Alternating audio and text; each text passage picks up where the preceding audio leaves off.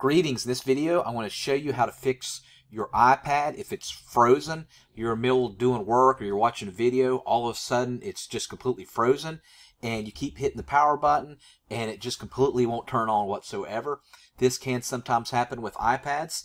So in order to fix that, for the old version or the new version, let's start with the new version. This particular model is an A2377, which is a newer version. So it's going to have the two volume buttons here on the side and then the power button here on top near the camera.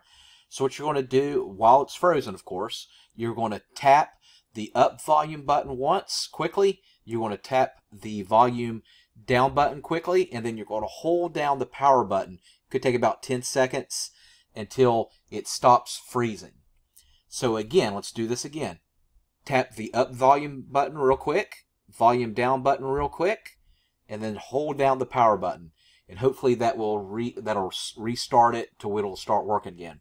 If you have an old version with the home button here on the bottom, what you're going to do while it's frozen, you're going to hold down the home button for a good 10 to 15 seconds, and hopefully that will uh, restart it.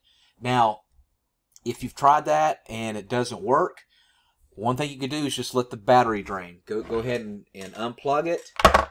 Let it sit. It could take, you know, hours. You know, Apple, the batteries are so good. So it might take hours. Just let it um, go ahead and um, drain. Now, if you've tried that and you start working on it again and it freezes up again, unfortunately, that could be two things. It could be a memory issue which of course the memory, the RAM is inside the Apple, right? That's a more complicated issue. You might would have to take it to Apple to get it serviced. Or it might just need a good factory restore reset. And that'll make it fresh out of the box like its factory settings. Now, of course, if that happens, that'll erase everything that you had on there, photos, videos, whatever, and make it fresh out of the box.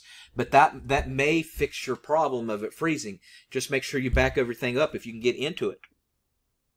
If you get into it, I'm going to show down here where it'll you can do a factory restore. Again, it's going to erase everything, but that that may fix the freezing problem if it continues. All right, thanks so much for watching, and make sure you subscribe.